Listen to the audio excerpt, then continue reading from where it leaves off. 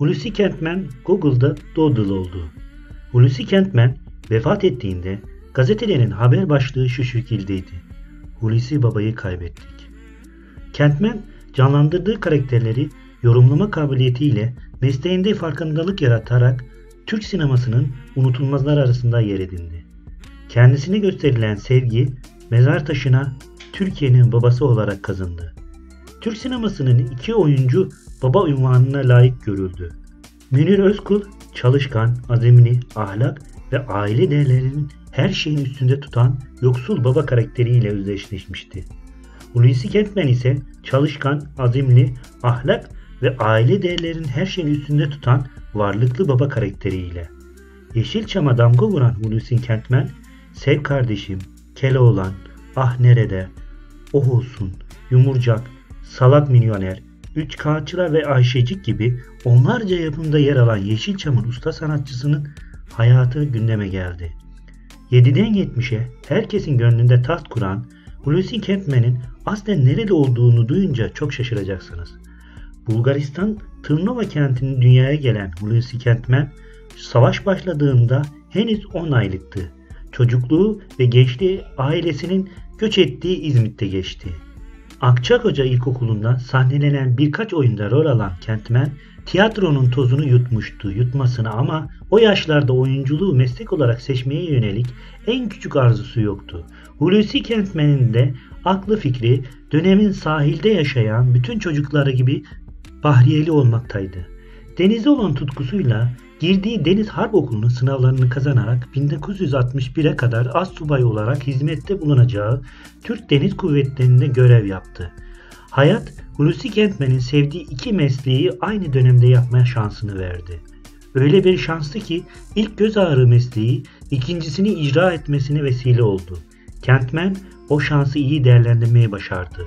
İlk Dumlupınar denizaltı gemisinde santral astsubayı olarak görev yaptıktan sonra İstanbul Deniz Dikim Evi'nin tayini çıkan Kentmen yaz aylarında saat 14'te paydos verilmesi üzerine tiyatro oyunu provalarını izlemek için arkadaşlarıyla Katıköy Halk Evi'ne gidip gelmeye başladı. Denizaltı görevinde bir müddet sonra kara hizmeti aldım ve İstanbul'a Deniz Dikim Evi'ne tayin oldu. İşte bu esnada yaz tatilleri başladı. Saat 2'de kapanıyor daire. E uzun yaz günleri. Ne yaparsınız 2'den akşama kadar? Kadıköy'de oturuyoruz. Eski mahalle arkadaşlarım hepsi halk evine gidiyorlar. Çoğu da tiyatro okulunda devam ediyor. Ben de vakit geçsin diye onlarla beraber onların provalarına giderdim. Zevkle seyrederdim. Çünkü hakikaten tiyatro seyretmeyi çok seviyordum. Nihayet bir gün bir eser koyacakları sahneye bir vaudeville İbn-i Refik Ahmet Nuri Bey'in Hisse-i Şaiya üç perdelik bir vaudeville. Bir elemanları noksan. Ne yapsak ne etsek diye falan düşünürlerken rejisörümüz de rahmetli Reşit Baran demiş ki Hulusi Bey'e geliyor. Burada seyrediyor zevkle. Acaba oynar mı teklif etsek? Bana teklif ettiler. Dedim ki ben askerim. Olur mu canım? Bu da bir devlet işi. Halk evinde bir resmi daire. Ben oynamak için can atıyorum ama bir müddet tereddüt ettim. Nihayet ne olursa olsun dedik. Eseri çalıştık, çıktı. Çok tutuldu. Muvaffak olduk. Hulusi Kentmen o günden sonra ordudaki görevinden fırsat bulduğu her anı tiyatro sahnesinde değerlendirmeye başladı. O tiyatrolarda biri de Avni Dillig'in kurduğu ses tiyatrosuydu. 1942'de Sürtük ile sinemaya adım atan Hulusi Kentmen oyunculuk yeteneğini beyaz perdeye de yansıttı. Yansıtmasına ama askerlik görevi nedeniyle emekli olduğu 1961'e kadar olan 19 yıllık dönemde 41 filmde rol alabildi. Aslına bakacak olursak 19 yılda 41 filmde rol almak muazzam bir kariyer işaret eder. Lucy Kentman o kariyeri oyunculuğu ek iş olarak yaptığında elde etti. Emekli olduktan sonra 1988'e kadar 237 filmde daha kamera karşısına geçmesi Kentman'in ne ölçüde tercih edilen bir oyuncu olduğunu gösteriyor. İşte izlediğimiz her filmde Lucy Kentman'in de rol aldığını sanmamız nedeni rol aldığı film sayısı.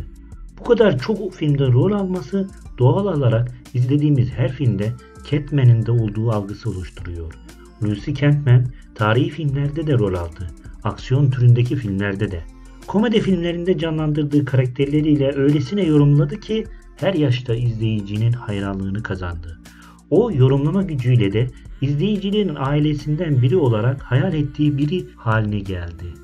1961'den sonra sinema filmlerine yoğunlaşsa da Hulusi Kentmen tiyatroya es geçmedi. Kurduğu Hulusi Kentmen tiyatro topluluğu ile Anadolu'da turnelere çıkan Kentmen, kimi zaman oyunlar sahneledi, kimi zaman sahneyi tek başına çıkıp fıkra anlattı. Günümüzde stand-up adı verilen gösterilerin temelini atanlardan biri de Hulusi Kentmen'dir. Hulusi Kentmen'in yeteneği oyunculukla sınırlı değildi. Fotoğrafçılık konusunda epeyce çalışma yapan Kentmen aynı zamanda müziğe de yatkındı. Keman çalan Kentmen, torunu Ali Kentmen ile birlikte TRT'de yayınlanan bir resitalde vermişti. 1980'de İzmir Fuarı'nda Hülya Koçyiğit kadrosunda yer alan Hulusi Kentmen sahnede bir yandan keman çaldı, diğer yandan fıkralar anlattı. 1938'de Refika Kentmen'le evlenen oyuncunun Volkan adlı bir oğlu ve daha sonra iki torunu oldu. Amatör olarak fotoğrafçılıkla da ilgilendi ve keman çaldı. 1980 yılında İzmir Fuarı'nda Akasyalar Gazinosu'nda çıktı ve keman çalıp parodiler yaptı.